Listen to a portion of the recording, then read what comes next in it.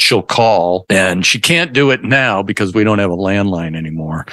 But she would call our house and say, Greg, it's Marie. Hey. Uh, and that's exactly like I don't do too many impressions that are spot on impressions. That's Marie right there. I can do I can do my uh, father-in-law.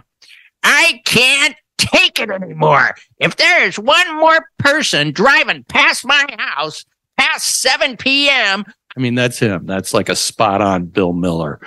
And Greg, Murray. couldn't be any more condescending sounding. It is so condescending. Her husband is a networking guy. So you guys have something in common there. There you go. Uh, and his name is Ned. I think he wears pajamas to bed, and I'm pretty sure there's a pocket protector in his pajama top.